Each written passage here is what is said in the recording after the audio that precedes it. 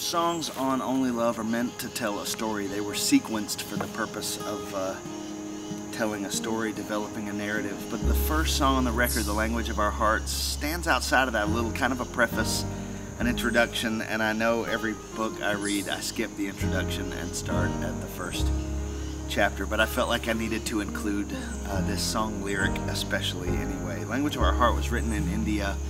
Um, I, was kind of experiencing this realization that the things that we face, the trauma that we face, the joys that we face, the tragedies that we walk through, even the simple pains and disappointments that we walk through, um, are kind of universal. They're a bigger thing than just an American experience or a Western experience. Joy looks like joy on the face of a student walking across Tibetan minority campus in Western China, the same way it does across the face of uh, a student you know, walking across Carson Newman College in East Tennessee.